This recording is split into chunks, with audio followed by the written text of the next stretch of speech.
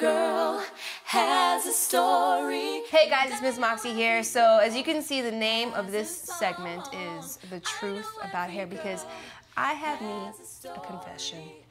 Now, I know a lot of you watch Myss Moxie thinking I'm some type of hair guru. You are absolutely dead wrong when it comes to that because still to this day, I I don't know what to do with my hair. And I have to give a shout out to my homegirl slash hairdresser, one of my hairdressers, Teresa. Y'all saw her uh, cutting my bangs a couple months ago. I have to give her a shout out. But when it when I first moved to California, and I didn't know what to do with all of my natural hair, I was referred to the woman sitting next to me to my left, Dr. Dr. Kari Williams. Hello. Hi, Myss Moxie. You don't understand, y'all. I'm so excited to be talking to Kari because she was the one that taught me that secret trick of using the rods, the gray rods at the end when you twist up your hair and it doesn't have any more curls. She was the one that taught me that secret. So please do not be giving credit to Myss Moxie. Give it all to Dr. Kari Williams. Oh, thank you, Myss Moxie. I did teach her that trick, y'all. She did. She did. Dr. Kari, tell me about uh, your your introduction into hair. Well, I've been doing hair my whole life. Mm-hmm. Um, I was very blessed and fortunate to have a mother who wore her hair natural her whole life. So that was the example that I had in the home mm-hmm. of seeing a woman with natural hair. She started off with a short natural, and then she locked her hair when I was like in second grade. Oh, wow. um, and I just grew up doing hair. I have tons of cousins, so it just came naturally to me from my Barbie dolls to Mommy, can I do my sister's hair? So those are my first models. Those are my first clients. One thing I admire and love about your story is that you you really were like, I'm gonna do this for real, and, right. and you became a doctor. right. Well, it's interesting because I never considered hairdressing as a serious professional career. So it's something that I did naturally my whole life. Um, but I also did really, really well academically. The introduction to trichology came because I was in that academic environment. So I decided, you know what, I want to do hair as a professional career. Mm-hmm. But I, I wasn't comfortable with the idea of just being a hairstylist. Mm-hmm. I knew I wanted something more. And I said, there has to be something more than just get my license, do hair. Right. I remember reading in Essence magazine once, you know, they always have their um, hair section. Mm-hmm. And they were asking advice from a stylist. Um, his name is Barry Fletcher and under his name it said Barry Fletcher, stylist trichologist. And I was like, whatever that is, I want to be that. Right. Four years later, after graduating from Cal, mm-hmm. I got that phone call that said your dissertation was great and um, you are done. You you definitely stepped into uncharted territories here in Los Angeles, opening a natural hair care salon. You know, it was very very difficult. Mm-hmm. I mean, we're going into our fourth year of business. The first year and a half, I was here by myself. Okay. And while I was working here by myself, you know, all of my peers in the industry, um, the salon owner who I worked with prior to opening up my own business, everyone said, you're going to have to get straight hair in there. You're going to just, you're going to have to do it in right. order for your business to be successful. But I refused. I mean, I had a vision, mm-hmm. I had a goal. And just because it didn't happen right away, right. I was not going to give up. So you know, here we are going into our fourth year. We have a studio full of master locticians, natural hair, natural hairstylists. Mm-hmm. I knew it could happen. It, w- it just took a lot of patience. And yes, there were times when I did consider, like, you know, I might just be the only natural hairstylist, you know, in my natural hair studio. Right. but I didn't give in to the temptation of doing that, and I'm glad that I didn't. Mm-hmm. Talk about the popularity of natural hair. It's very interesting because when I developed the idea of mahogany hair revolution in college, um, the trend at that time was growing. That this was back in about 2003, okay. and I remember, you know, watching the trend and seeing how more and more women, as you said, were embracing their natural curls, and it's just a wonderful thing to see that. I want to say that, especially being here in, in Los Angeles, that the desire to do that arrives from two different things. Mm-hmm it's one wanting more freedom. Um, a lot of women, you know, we're becoming more active. You know, we're in this big green movement. Yeah. Green as far as preserving our environment, preserving our health.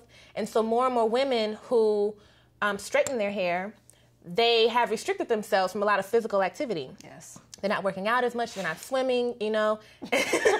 so for the desire of freedom, mm-hmm. They're saying, you know, I need to choose a hairstyle that will allow me to be more involved in an active lifestyle. Right. And so, but then also, they still want to feel sexy. They still want to be sophisticated. They still want to be able to walk into their workplace Mm-hmm. and be presentable.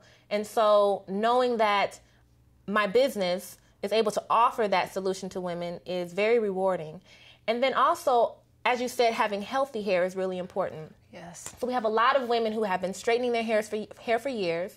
Um, they don't even know what their natural curl looks like because since they were three, they were getting their hair straightened. And so we're starting to see higher incidences of hair loss in women. And so once again, they beg the question, what can I do? Right.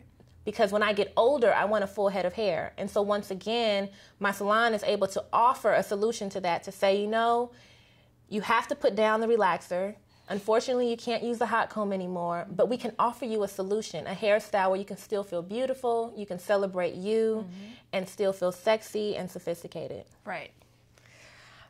Which goes to the very root with a lot of black women is our our identity is really tied up in our hair. You know, it's mm-hmm. our crown for real.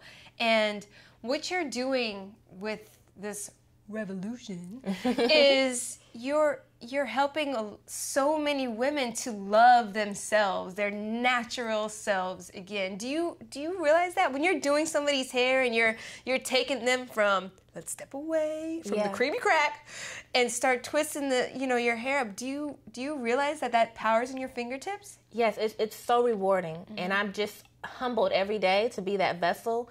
And the beautiful thing as I've been refining my vision for my business is, as you said, revolution. One, the definition of revolution being a drastic change, but also I do a lot of children. Mm. And so, revolution 360, a full circle, like you said, coming back around.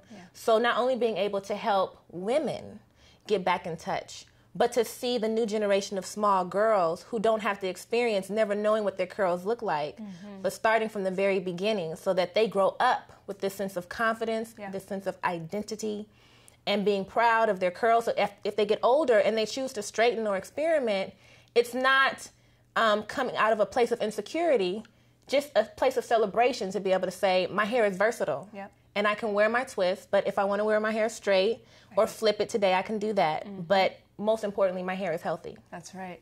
Now, you also have mahogany, the original whoop wop, but because you know you know what it is, and you're a, a businesswoman, Right. okay? Right. You opened up a second salon. Tell Yes. me about mahogany too. Well, Mahogany 2 um, came out um, because a lot of women started to stumble upon my website, search me out, and they loved the idea that I focused on healthy hair. Um, but once again, these women just chose and prefer to wear their hair straight. And so they would call. I started getting a lot of calls from women who said, I love that you focus on healthy hair. Is there someone there who can straighten my hair? And, you know, com- confession for me, I went to barber school. So I didn't even go to cosmetology school. I have my barber's license once again because I wasn't interested mm-hmm. in straightening hair. Mm-hmm. So it's not like when they called, I could be like, you know, let me pull out my curlers and my hot irons and do this one time. you know, it was just like, I, I can't do it. Mm-hmm. So because I saw there was a demand, and being the businesswoman I am, Yes. I said, you know, I can still help women who choose to wear their hair, hair straight, but still maintain my vision of healthy hair because of my degree in trichology. Mm-hmm. So I created Mahogany 2 to serve that need. Right.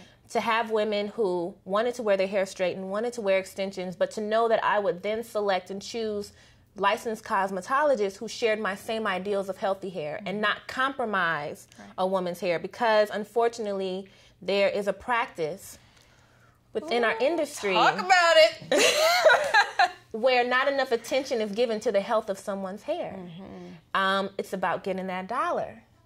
And how fast can I get my client in and out? And so I said, you know, I want to build a business in which we celebrate all types of hair, no matter how you choose to wear it. Right. But my stylist, if your hair is weak, if it's fragile, if your hair is thinning, they're going to alert you. And they will not perform a style or a service on you if they feel like it's not going to help grow your hair, if it's not going to improve the condition of your hair. And so that's how Mahogany 2 originated. What can we do? What can what can black women, any kind of woman, do to, I guess, encourage ourselves to love uh, who we are? Because that's essentially, I feel like, the bottom line with what your your story and to, and to work really hard to to achieve your goals. Um, the one thing that I would I would encourage women to do is it really does start with just accepting that you are this black woman, this brown woman, and I think it does start with knowing or getting in touch with your curl pattern. I'll say from a hairstylist point of view, mm-hmm. because I deal with a lot of women who come in and they they don't even know what their curl pattern is, and unfortunately, their idea of wearing their hair natural comes from a stereotype. Mm.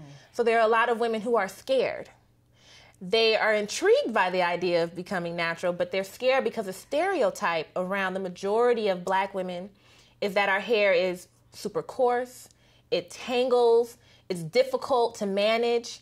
But I mean, our people that we're so beautiful, and you know, the stereotype that the dark skinned girl has a super cur- coarse hair, mm-hmm. and then the brown or lighter skinned girl has the softer curls, where I have clients who are lighter and browner and they have very coarse, tightly coiled hair, mm-hmm. and then the dark skinned girls' curls are loose. So we have to get rid of these stereotypes, and you just have to get in touch with who you are. Right. And then once you can get in touch with you who you are, then just accepting that. And I think too, I mean, I think it's great that we have a lot of images of celebrities and things who are getting in touch with their curls. Mm-hmm. Um, but I want to tell tell my wonderful, you know, sisters, women out there, you know, we get a lot of pictures. Mm. And of course, Tracee Ellis Ross is the most popular. Yes. And you have to know your curl. So if you're choosing to go natural, mm-hmm. you know, you have to know it could be a variety of textures and curl patterns. And I think that celebrating and, and loving and being able to recognize someone's hair and their curls, but then also saying, you know, these are my curls and this is what my curl can do. Yeah. You know, everyone's hair is different, but it just really starts with just, you know, getting in touch mm-hmm. and start with that curl pattern. You know, even if you grow it out an inch and, you know, come see me and we can discuss what your curl can do. Yeah. Because each curl is special, each curl is different. Mm-hmm. Now, I can't leave without getting one tip from mm-hmm. Dr. Kari Williams about anything. It could be, what should I do? Because people always ask, what do you wrap your hair up at night? No, I don't. I- I'm mm-hmm. tired. I go to bed. Okay, I, I'm Right. like the worst person when it comes to what to do at night. Right. But if you can give one tip, whether it be you know what kind of vitamins to take, to drink a lot of water, Um, well, since you were mentioning vitamins and things like that, um, a key fact and tip for everyone out there is your hair is a barometer to health, meaning that your hair can detect subtle changes in your body. So, for the most popular question, how can I make my hair grow more or grow longer? It starts from the inside out. It, it sounds cliche, but it's so true. Yeah. Um, I always tell my clients, you know, your hair is actually an organ. Now, it's not a vital organ. You don't need it to live, but it is. So that means it still requires nutrients. It still requires vitamins that travel through your bloodstream. So just make sure that you do have a great multivitamin. People always ask about hair, skin, and nail vitamins. They're fine, but if you're going to take them, still take a good multivitamin Right. because you want to take care of your whole self. Well, thank you so so so much just for just for sitting down with me and for sharing just so much of your great energy. I really hope that you guys really just can feel that just the genuine care for hair and for black women that just radiates out of Kari. There's more than a million ways to find out and to talk to Dr. Kari. Um, again, Twitter, Facebook, her blog, and uh, Myss Moxie. Oh my gosh. Um, so hopefully we will be seeing you guys soon, and mm, please make sure to tune back in. And thank you so much for supporting Myss Moxie. I'm excited for where I'm going, and I'm excited for the people that are joining me on my journey. So I will see you guys soon. Bye.